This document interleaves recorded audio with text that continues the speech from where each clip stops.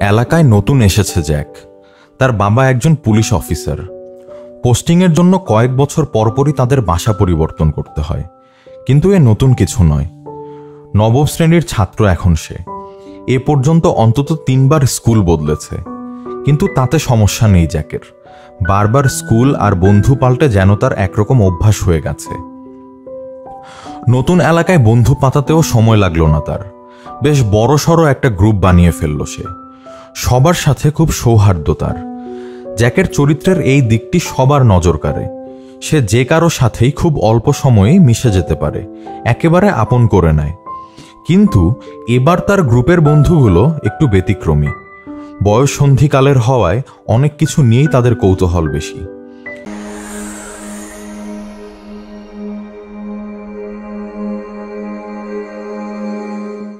এভাবেই দিন যেতে লাগল।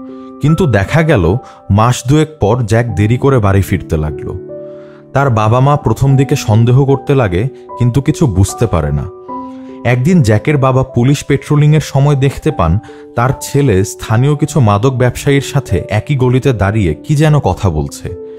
তখন যদিও কিছু বললেন না জ্যাককে, কিন্তু বাসায় এসে জ্যাককে জিজ্ঞাসা করলে জ্যাক তা পুরোপুরি এড়িয়ে যায়। অস্বীকার করে যে, এমন কারও সাথেই সে দেখা করেনি। সে যাত্রায় খুব কড়াভাবে শাসন করে জ্যাকের বাবা। কিন্তু ধীরে ধীরে জ্যাকের নেশা করার মাত্রা বাড়তে লাগল। তাকে যে পকেট মানি দেয়া হতো, তাতে মাসের পনেরো দিন তো দূর, দুই দিনও চলতে পারত না সে। তার আগেই টাকা চেয়ে বসত। এদিকে স্কুলের রেজাল্টও দিন দিন খারাপ হচ্ছেই। স্কুলের হেডমাস্টার তার বাবা মাকে ডেকে জ্যাকের রেজাল্ট সম্পর্কে জানতে চাইলেন। এবং সাবধান করে দিলেন যে, ওর রেজাল্ট যদি উন্নতির দিকে না যায়, তবে স্কুলে ওকে বেশি দিন রাখা সম্ভব হবে না। জ্যাককে শুধরানোর জন্য ওর বাবা পকেট মানি দেয়াই বন্ধ করে দিলেন। কিন্তু তাতে জ্যাকের বেপরোয়াপনা আরও বেড়ে গেল। প্রায়ই ওর নামে স্কুল থেকে মারামারির কমপ্লেন আসত। বাবা মা বেশ দুশ্চিন্তায় পড়ে গেলেন। একদিন হঠাৎ জ্যাকের বাবার ওয়াকি টকিতে একটি ইমার্জেন্সি রেসপন্সের কল এলো। সুপার শপের পাশের গলিতে একজন ছুরিবিদ্ধ হয়েছেন। দ্রুত ছুটে গেলেন তিনি। ঘটনাস্থলে পৌঁছে তিনি একেবারে নিথর হয়ে গেলেন। দেখলেন মাটিতে লুটিয়ে পড়ে রয়েছে তার একমাত্র ছেলে জ্যাক। মৃত্যু যন্ত্রণায় কাতরাচ্ছে। অ্যাম্বুলেন্সে করে দ্রুত পাঠানো হলো হাসপাতালে। কিন্তু একই সঙ্গে তাকে গ্রেফতার করে নেওয়া হলো কিশোর সংশোধনাগারে।